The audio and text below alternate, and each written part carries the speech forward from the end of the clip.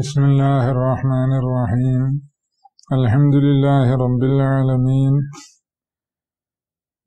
الذي هدانا لهذا وما كنا لنهتدي لولا أن هدانا الله. اللهم صل وسلم وبارك على سيدنا ونبينا وحبيبنا محمد صلى الله عليه وعلى آله وصحابه ومن تبعهم بإحسان.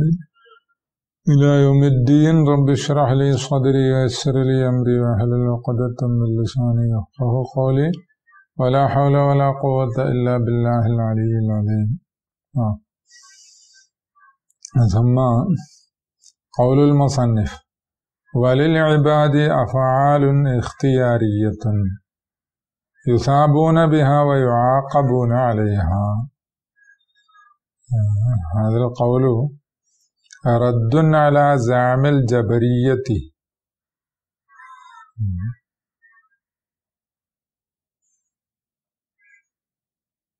وغيرهم نعم.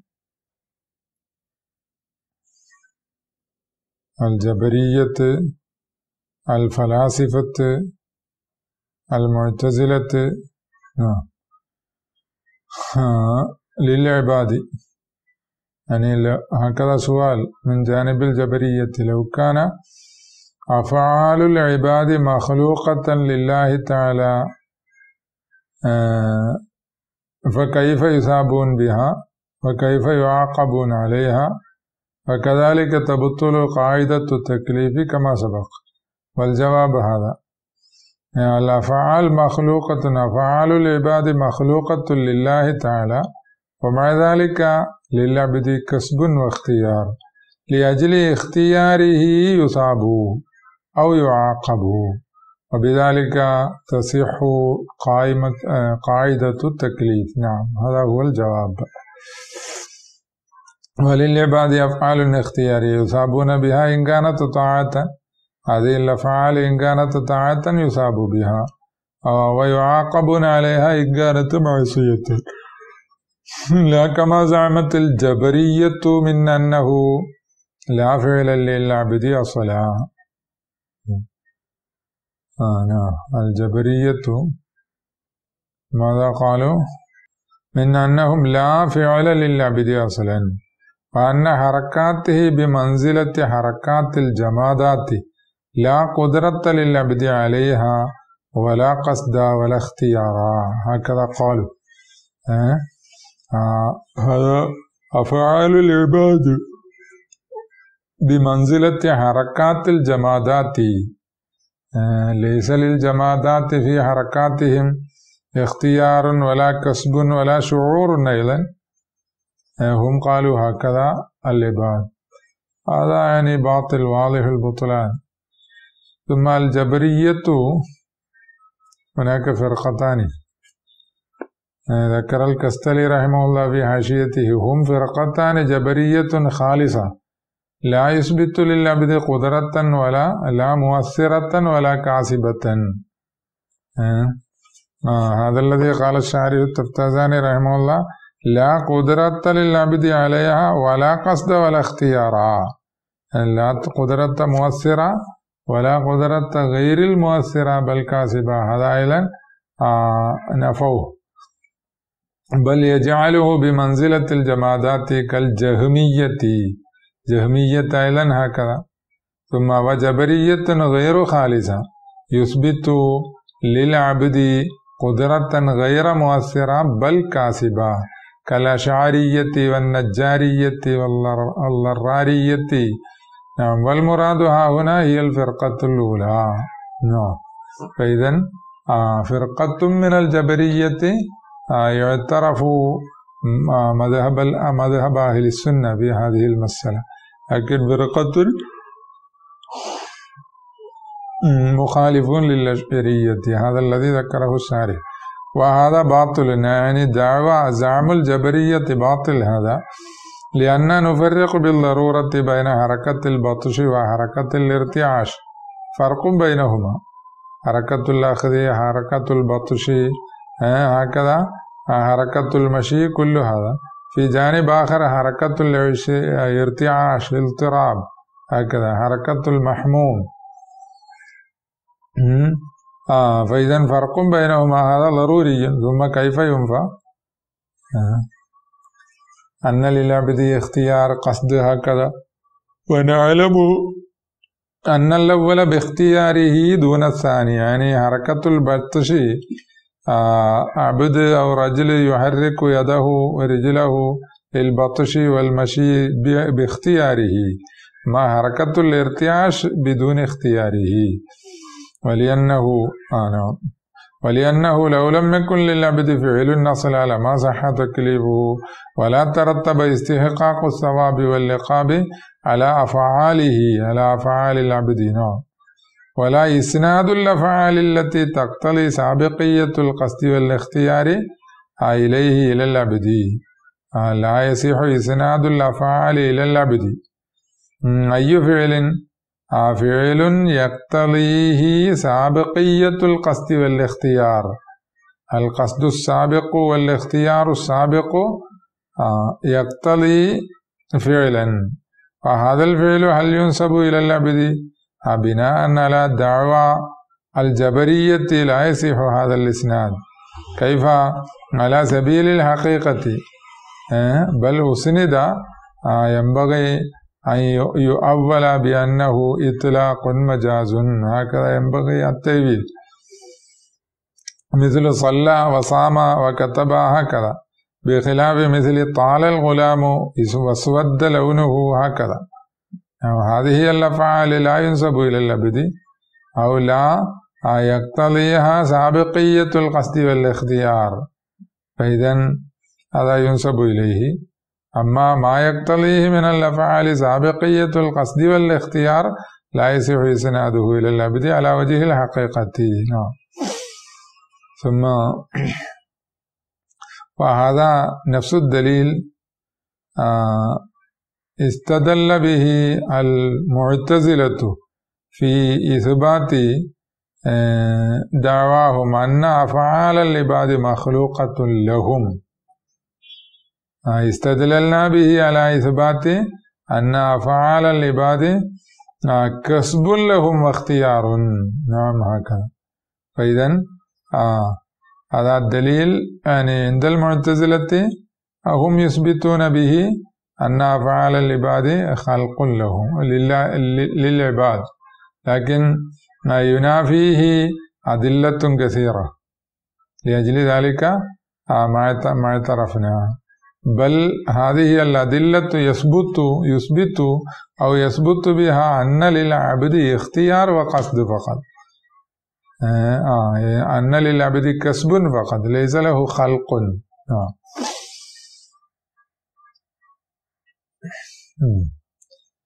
ثم والنصوص القطعية تنفي ذلك. النصوص القطعية تنفي ذلك. تنفي أي شيء؟ تنفي عدم إسناد الأفعال إليه تعالى. أه؟ ولا يصح إسناد الأفعال إلى العبد. مع أن النصوص القطعية تنفي ذلك يعني تنفي عدم إسناد الأفعال أو عدم صحة إسناد الأفعال. فإذا النصوص القطعية تدل على صحة الإسناد. ما ما هي النصوص؟ كقوله تعالى جزاء بما كان يعمل بما كانوا يعملون. وقوله تعالى فمن شاء فليؤمن ومن شاء فليكفر إلى غير ذلك. لأن هناك قال يعملون نسب الفعل إلى العباد. كذلك من شاء فليؤمن الإيمان. كذلك فليكفر الكفر. أسند إلى العبد. هذا إطلاق صحيح. لكن لو ذكرنا أو بناء على زعم الجبرية هذا الإطلاق لا يكون صحيحا. نعم هذا رد عليهم. آه كذلك هذا دليل يدل على بطلان دعوة. وينقل بعد تعميم علم الله تعالى وإرادته الجبر لازم قطعا.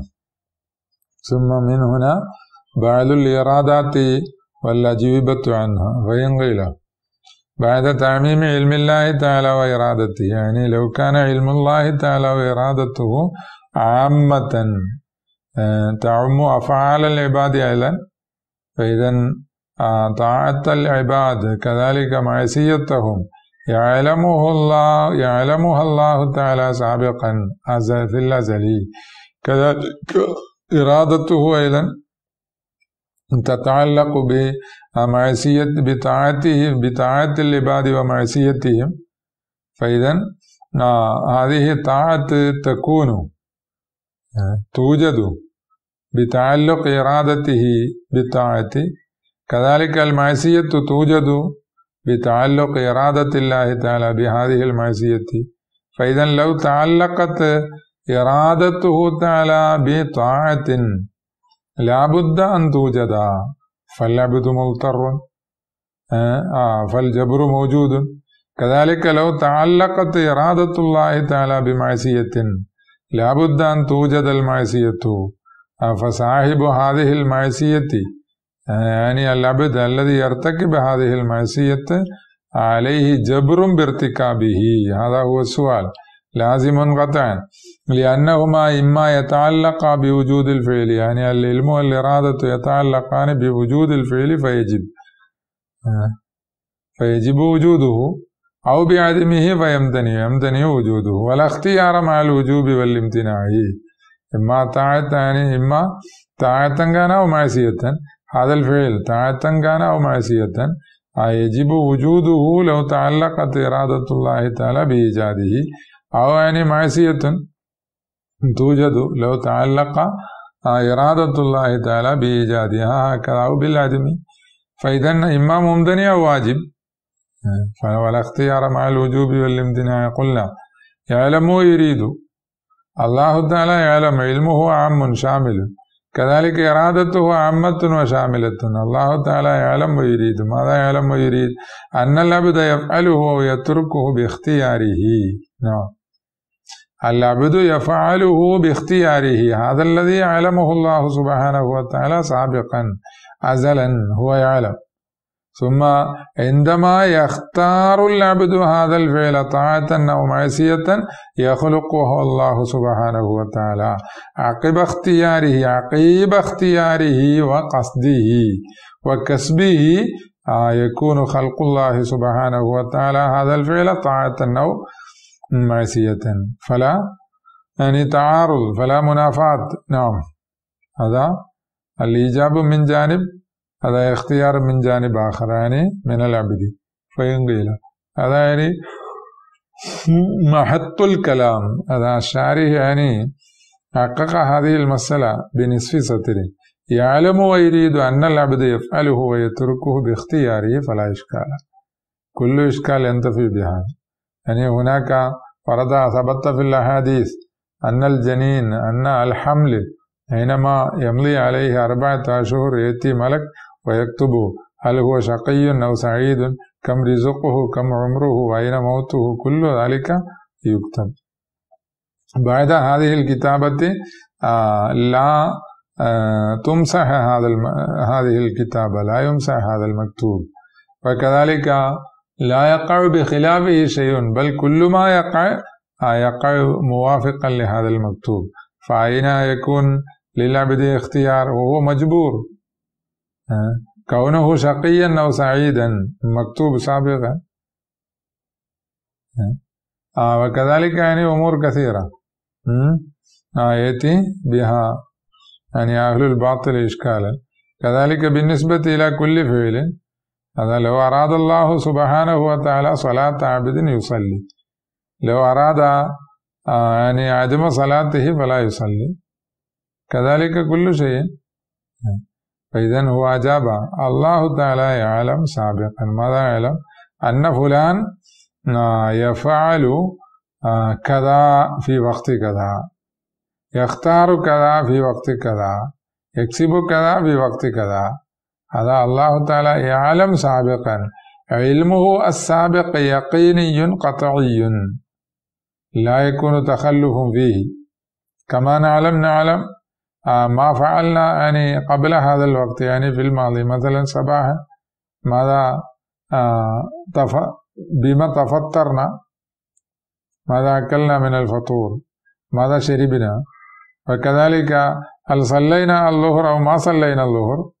عندي أنا صليت الظهر بعد ذلك أنا أدرس نعم فإذا أو يعني صباح اليوم آه، هل صلينا الصبح؟ نعلم صلينا الصبح. صلينا الظهر نعلم آه، هذا لا لا يكون تخلف في هذا العلم. كذلك الله تعالى يعلم هل نصلي صلاة عشاء اليوم. آه، أو يعني أنا أكون يعني مريضا أو يمنعني مانع من صلاة العشاء. كل هذا الأمر الله تعالى يعلم. أو أنا أترك الصلاة كسلا. كله يعلم الله تعالى سابقا. فإذا الذي كتب حال كنت حملا في بطن أمي. ماذا كتب الله سبحانه وتعالى؟ يعني ملائكة ماذا كتبوا؟ يعني ما أختاره فيما بعده بالنسبة إلى هذه الأفعال الاختيارية بالنسبة إلى الأفعال التكليفية. أما هناك رزق كذلك عمر هكذا أمور. ليس لها تعل...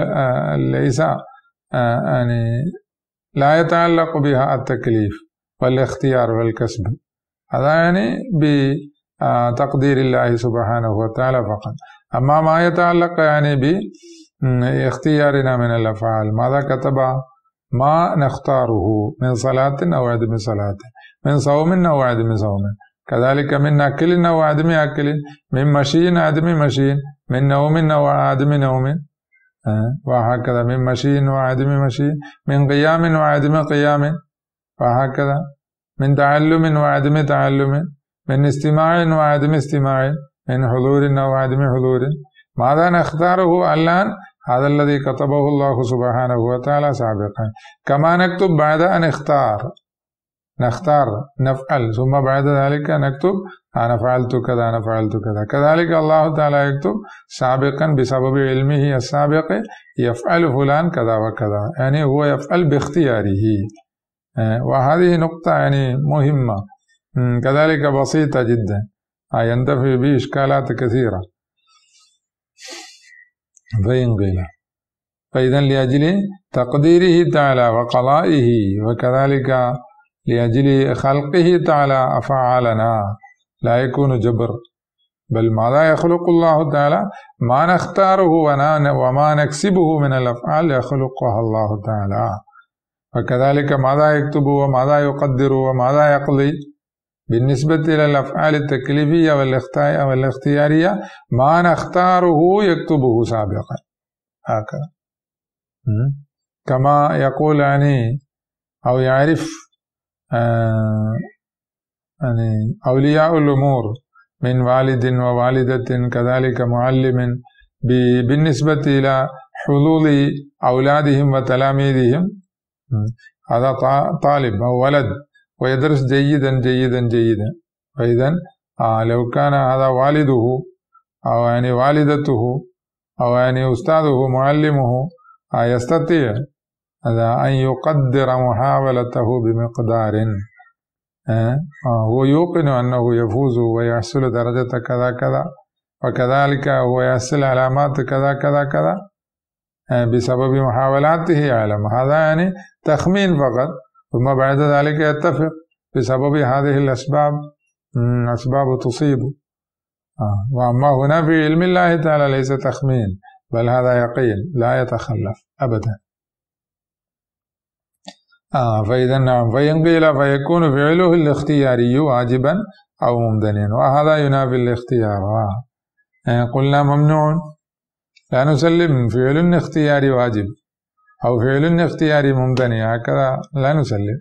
فإن الوجوب بالاختيار محقق للاختيار لا مناف. آه. الوجوب بالاختيار يعني الوجوب بسبب علمه تعالى بإرادته ماذا؟ وجوب الفعل باختيار العبد. هذا محقق للاختيار فقط لا مناف للاختيار. محقق للاختيار معناه بينه خيالي. فلا يكون فعل العبد كحركة الجماد. لا يكون فعل العبد كحركة الجماد وهو المقصود ها هنا. محقق للاختيار. فإذا لا يكون كنزول المطر.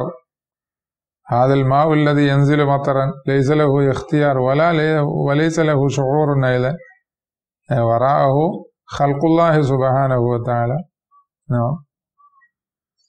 ليس كذلك أفعال العباد ثم قلنا ممنوع فإن الوجوب بالاختيار محقق للاختيار لا مناف. وأيضا منقول بأفعال الباري جل ذكره. هذا لا يقال في أفعال العباد بل يمكن أن يقال هذا في أفعال الله سبحانه وتعالى نفسه. لما؟ لأن علمه وإرادته متعلقان بأفعاله فيلزم أن يكون فعله واجبا عليه. علمه وإرادته يتعلقان بفعله تعالى ففعله واجب عليه. فإذا هل يكون منافيا؟ لا.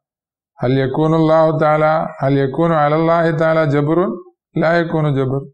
بل هو مختار. مع ذلك يكون واجبا بسبب تعلق الفعل والإرادة بفعله. فإن قيل لا معنى لكون العبد فاعلا بالاختيار إلا كونه موجدا لأفعاله بالقصد والإرادة. وقد سبق أن الله تعالى مستقل بخلق الأفعال وإيجادها. يعني ما معنى كون العبد فاعلا بالاختيار أليس معناه أنه موجد لأفعاله بالقصد والإرادة آه لو كان كذلك وقد سبق أن الله تعالى مستقل بخلق الأفعال وإيجادها فإذا ما معنى إثبات الاختيار والقصد للعبد ومعلوم أن المقدور الواحد لا يدخل تحت قدرتين مستقلتين يعني لو كان هذا الفعل بتنفيذ بنفوذ قدرة العبد ثم كيف يكون هذا الفعل بنفوذ قدرة الله تعالى أو يكون على العكس هذا الفعل لو كان بخلق الله تعالى وتقدير قدرته وتعلقها به فكيف يكون هذا اختيارا وقصدا من العبد بمعنى أنه موجد لهذا الفعل. لماذا؟ لو ولدت لو ولد ولد. لا يكون هذا الولد ولدا لامرأتين. لو ولدت امرأتان لابد من ولدين على الأقل نعم. آه لو كان ولد واحد لا يكون أمين. آه بل أم آه والدة واحدة نعم. كذلك هنا فعل واحد فقط. فإذا كيف يكون تحت قدرتين لا يكون؟ قلنا لا كلام في قوة هذا الكلام ومتانة هذا كلام قوي. لكن هنا لا. إلا أنه لما ثبت بالبرهان أن الخالق هو الله تعالى. هذا ثابت بالبرهان. الخلق ليس لغير الله تعالى. قد بينا سابقا وبالضرورة يعني ثبت بالضرورة والبداهة أن لقدرة العبد وإرادته مدخلا في بعض الأفعال. يعني أفعال تكليفية. يكون لقدرة العبد مدخلا. كحركة البطش دون البال كحركة الارتعاش. يحتجنا في التفصي عن هذا المضيق إذا هناك كان مضيق آه آه للتخلص. والتفصي والتخلص عن هذا الضيق يحتجنا آه كان علينا حاجة إلى ما إلى القول بأن الله تعالى خالق كل شيء. والعبد والعبد كاسب. هكذا. يعني هذا تحقيق للأدلة. هذا الكسب ثبت في الآيات الكسب والاكتساب. ثابت في يعني الآيات والأحاديث. الكسب أثبت الدليل وفي القرآن للعباد. الخلق أثبته لله تعالى. فإذا يعني جمعنا بين الأدلة. ما تركنا شيئا من الأدلة. أدلة الخلق وأدلة الكسب. لها ما كسبت وعليها ما اكتسبت مثلا. لها ما كسبت وعليها ما اكتسبت. هذا هو الكسب. نعم. هكذا يعني تخلصنا. ثم وتحقيقه أن صرف العبد قدرته وإرادته إلى الفعل كسب. هذا الصرف يعني الله سبحانه وتعالى أعطى للعبد قدرة وإرادة. لكل عبد أعطى قدرة وإرادة. ثم العبد يصرف هذه القدرة والإرادة إلى أين؟ إلى الفعل. إلى الفعل يعني إما إلى الطاعة أو إلى المعصية هذا اختياره. آه, آه هذا كسب. وإيجاد الله تعالى الفعل عقيب ذلك خلق. نعم. لو صرف العبد قدرته هل يوجد؟ لا يوجد. بل عقب ذلك الله تعالى يوجد الفعل. هذا خلق. والمقدور الواحد داخل تحت قدرتين. هنا أحد الكسب والآخر خلق؟ آه لكن بجهتين مختلفتين فالفعل مقدور الله تعالى بجهة الإيجاد ومقدور العبد بجهة الكسب نعم فإذا المرأة الوالدة والأم هي التي ولدت أما القابلة ماذا فعلت هي خدمت كذلك هنا يعني الله سبحانه وتعالى يخلق والعبد يتسبب يكون أو يعني يباشر بالأسباب هكذا. آه نعم وهناك يعني القابلة ترتب وتهيئ كذا كذا كذا. نعم. الولد آه للوالدة. وكذلك خلق الفعل لله تعالى. ثم عقيب ذلك خلق. والمقدور الواحد داخل تحت قدرتين لكن بجهتين مختلفتين. فالفعل مقدور الله بجهة الإيجاد ومقدور العبد بجهة الكسب. وهذا القدر من المعنى ضروري. يعني تحليلا للأدلة هذا ضروري. وإن لم نقدر على أزيد من ذلك في تخليص العبارة المفصحة آه، والحال أن لا نستطيع. على أزيد من ذلك في أي شيء في تخليص العبارة المفصحة يعني المظهرة عن تحقيق كون فعل العبد بخلق الله تعالى وإيجاده مع ما فيه للعبد من القدرة والاختيار. يعني لا نستطيع أن نبين أزيد من ذلك وهذا غاية البيان. هكذا جمع بين الأدلة أدلة الخلق لله تعالى وأدلة الكسب للعباد. نعم. ولهم يعني لأئمتنا مشايخنا في الفرق بينهما بين الخلق والكسب. عبارات مثل أن الكسب ما وقع بآلة والخلق لا بآلة الآلة يعني ليس هذه الآلة المادية بل يدخل في الآلة القلب أيضا والنفس أيضا كما ذكر الكستلي. نعم.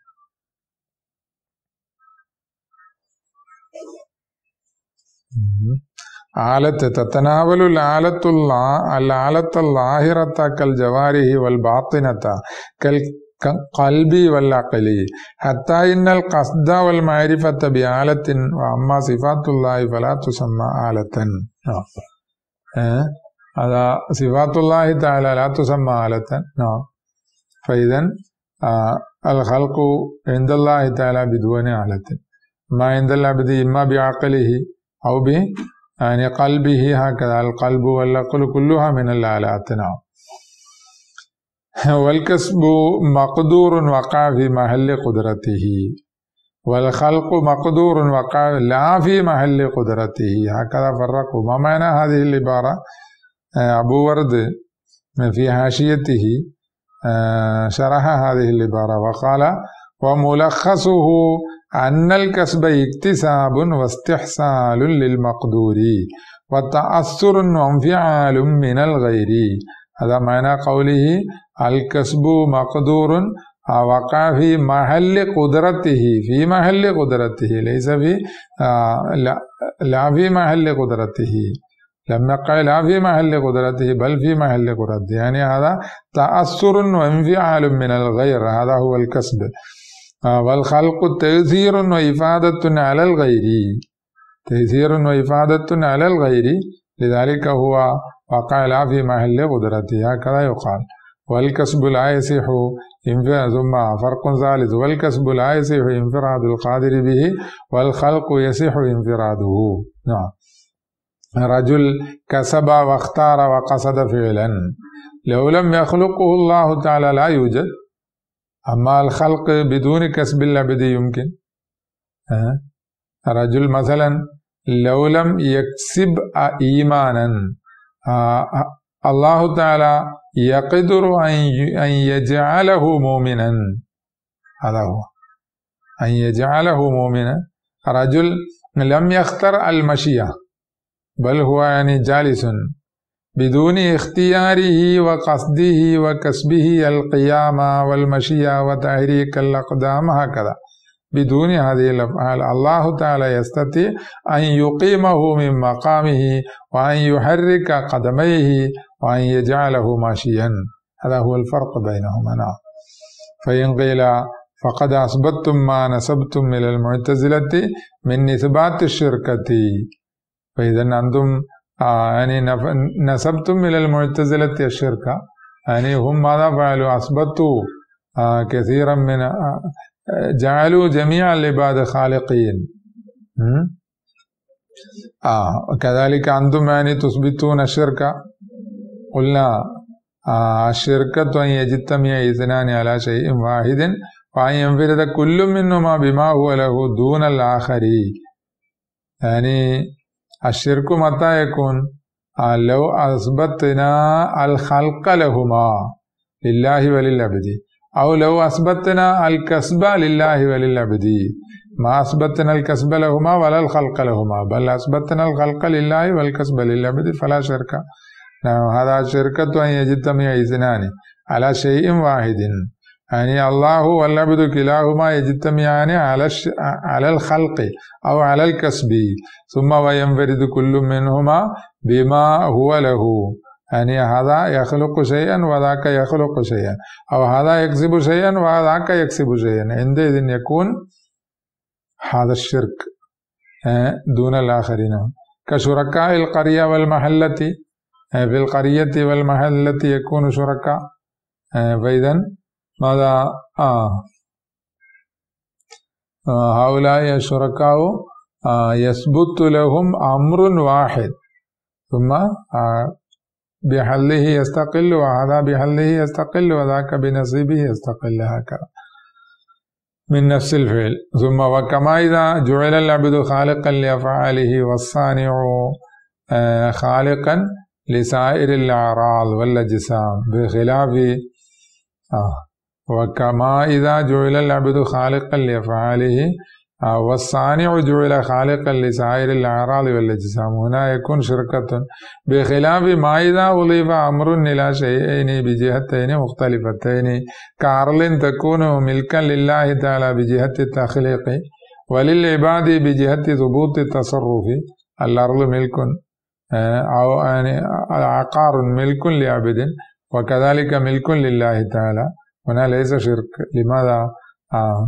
ملك لله تعالى بجهة التخليق للعبد بجهة ثبوت التصرف. وكفعل العبد ينسب إلى الله تعالى بجهة الخلق وإلى العبد بجهة الكسب. ليس هناك شركة. فإن قيل فكيف كان كسب القبيح قبيحا سفها موجبا لاستحقاق الذم والعقاب بخلاف خلقه؟ يعني الكسب يترتب عليه يعني القبح والحسن وترتب العقاب والثواب هكذا. لا يترتب على الخلق هذا. يعني خلق المعصية ليس معصية. كسب المعصية معصية. خلق القبيح ليس قبيحا بل كسب القبيح قبيح. ما الفرق بينهما؟ قلنا. لأنه قد ثبت أن الخالق حكيم لا يخلق شيئا إلا وله عاقبة حميدة. وإن لم نطلع عليها فجزمنا أن ما نستقبحه من الأفعال قد قد يكون له فيها حكم ومصالح كما في خلق الأجسام الخبيثة الضارة المؤلمة فإذا الله تعالى منزه. لماذا؟ نستقبح فعلا لعدم معرفتنا وعلمنا بعاقبته الحقيقة الحقيقة. يكون في عاقبتها يعني أمر حسن. نعم. بخلاف الكسب فإنه قد يفعل الحسن وقد يفعل القبيح. العبد ليس كذلك بل هو في مرة يفعل الحسن مرة يفعل القبيح. ليس لكسبه ولا لفعله هكذا. عاقبة حميدة دائما. فجعلنا كسبه للقبيح قبيح مع ورود النهي عنه قبيحا سفها. وكذلك هنا ورد النهي عنه. أما بالنسبة إلى خلق المعصية خلق الكفر خلق القبيح لم يرد أي نهي؟ لم يرد أي نهي على الله تعالى. لم ينهى الله تعالى عن مثل هذه الخلق. هل ينهى عن خلق القبيح؟ لا ينهى هذا الله تعالى منزه. وهو القادر وهو يعني القاضي. نعم. وهنا بالنسبة إلى شيء أفعال العباد ورد النهي. لذلك صار قبيحا سفها موجبا لاستحقاق الذم والعقاب. ثم يعني بالنسبة إلى كسب العبد. عندنا قصة. يعني رجل هو عالم اشتبه عليه مسألة الكسب. فإذا هو يعني طاف بين العلماء الكبار دق بابا بابا. أخيرا هو وصل إلى عالم على بعد مسافة ثلاثين كيلومتر ثلاثمية كيلومتر. هذا كان في قديم الزمان. قبل خمسين سنة أو ستين سنة هكذا. فإذا هذا واقعية وقعت في مليبار بلدنا. فإذا هكذا طاف بين العلماء أخيرا هكذا. هو يعني شق عليه السفر كذا كذا تحمل كثيرا من المشاق أخيرا وصل إلى عالم أه؟ ثم قدم إليه مقصد مقصود سفره وقال اشتبه علي مسألة القسب آه لم يطلع لذلك جئت إليك. آه لذلك أنا ألتمس منك بيان هذه المسألة. والإفساح عن خفياته هكذا طلب منه. فإذا هو احتال. وسأل لهذا الآتي هذا الطالب سأله. من قال لك أن تسألني عن هذه المسألة؟ أنت جئت من بعد بعيد. وسافرت أيام. تحملت مشاق. من قال لك أن تتحمل هذه المشاق؟ وأن تسافر هذا السفر الطويل ثم أن تس... ثم من قال لك أن تسألني؟ لأنه هو قال يعني لم يقل لي أحد. بل أنا يعني هكذا حينما اشتبه علي هذه المسألة أنا قررت أن أسأل العلماء ذهبت إلى عالم فلان ثم إلى عالم فلان لكن لم يتله المسألة عندي فإذا أنا قررت أن آتي إليكم. إذا هو يعني رد عليه هذا السؤال لا لا يكون كذلك. يمكن أن يكون أحد أرشدك إلي. من ذاك؟ هكذا هو سأله مرارا مرارا فإذا هذا الطالب يقول لا ليس أحد ورائي ما أرشدني أحد ما بين ما قال لي اسمك آه أحد. هكذا هو يكرر وذاك يكرر. أخيرا آه هذا العالم قال له هذا هو الاختيار. أنت قلت يعني ما أرسلك أحد ما أجبرك أحد ما أكره عليك أحد. بل أنت قررت يعني أنت قصدت أنت اخترت وأنت كسبت هذا السفر. وهذا السؤال وهذا الاستفسار. هذا هو الاختيار. ما شاء الله. حلت جميع المشاكل عنده اتضحت جميع الخفايا عنده نعم هكذا. ثم وهذا في سورة الملك. ذكر الله سبحانه وتعالى سورة المحشر. هؤلاء المجرمون العصاة ماذا يقولون؟ لو كنا نسمع أو نعقل ما كنا في أصحاب السعير فاعترفوا بذنبهم فسحقا لأصحاب السعير.